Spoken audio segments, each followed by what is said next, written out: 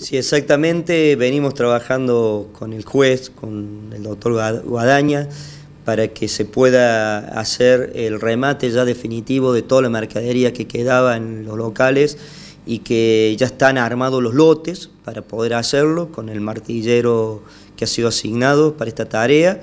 Y bueno, nos toma ahora la feria estas dos semanas, este parate, digamos, de la parte judicial, pero reinicia el 24 la actividad en la justicia, por lo tanto entendemos que para el 31, posiblemente de julio, para el lunes 31, tal vez podamos empezar con los remates de todo lo que es la mercadería, de juguetería, de la parte mochila, que tienen mucho que ver con la fecha que se avecina, que es el Día del Niño.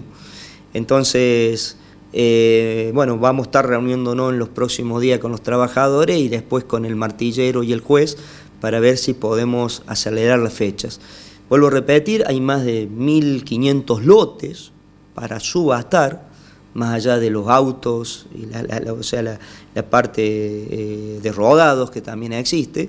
Eh, y esto, bueno, entendemos que en el mes de agosto tiene que tener, tener eh, terminar, digamos, la subasta.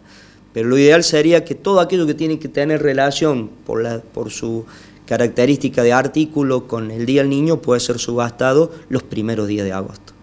Bueno, eh, si llegara a quedar algún artículo más por fuera, digamos, de lo que es del interés del Día del Niño, ¿se podría llegar a, otra subasta, pedir otra subasta más también por ahí en, en algunas fechas especiales, hacia Día del Padre, Día de la Madre? Sí, eh, o sea, la subasta se va a terminar, eh, nosotros decimos primero que se subaste lo que tiene relación con el Día del Niño, pero después en los días siguientes va a seguir la subasta. ¿Por qué? Porque también necesitan terminar con los síndicos el tema de la quiebra. Eh, entonces tienen plazos.